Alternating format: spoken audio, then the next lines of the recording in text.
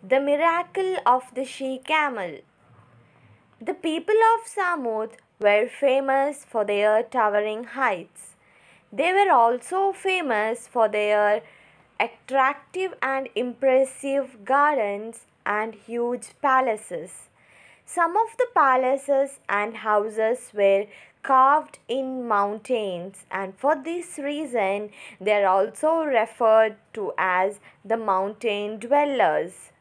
The people of Thamud took pride in their huge and beautiful palaces, and as time passed by, they became proud, which led them astray. The people of Thamud, in their pride, might, and ignorance, turned away from Allah and started worshipping idols. Allah sent Prophet Salih salam to the people of Thamud with the message, There is no God but Allah. Prophet Salih salam called the people of Thamud to worship Allah, to whom they should give thanks for all their bounties. He called upon the rich to stop behaving cruelly with the poor people and for an end to all mischief and evil. The leaders of the people of Thamud, in their ignorance and pride, asked those who had accepted the message of Allah, Do you know for sure that Salih is the messenger from his Lord? The people who had accepted the message said, we do indeed believe in the revelation which has been sent through him. We reject what you believe in, the arrogant people, the disbelievers said. If Allah created a she camel out of this rock, which gave birth to a baby camel, just after coming out, we would believe in Allah and accept you as Allah's prophet.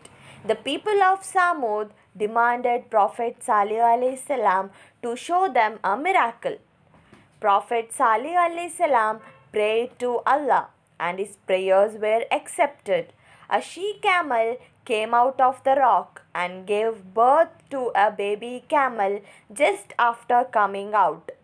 The people of Thamud were amazed to see the miracle in front of their eyes. They had demanded the impossible, and the impossible had been made possible. After seeing the miracle, some people of Thamud immediately accepted Islam. They accepted Allah to be their creator and sustainer and Prophet Salih alayhi salam as Allah's prophet. In spite of what they had asked and having observed the miracle, some stubborn disbelievers still refused to accept Islam. The miraculous she camel, which had come out of the rock, was named as Allah's she camel. This she camel drank water in a very large quantity, which left nothing for the animals to drink. Prophet Salih salam fixed a day for the she camel to drink water and the next day for all the other animals of the tribe of Thamud. After she drank water, the people of Thamud used to milk her a lot and happily walk away. O my people, worship only Allah. There is no God but Allah.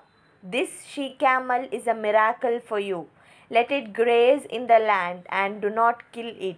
Otherwise, a painful punishment will seize you.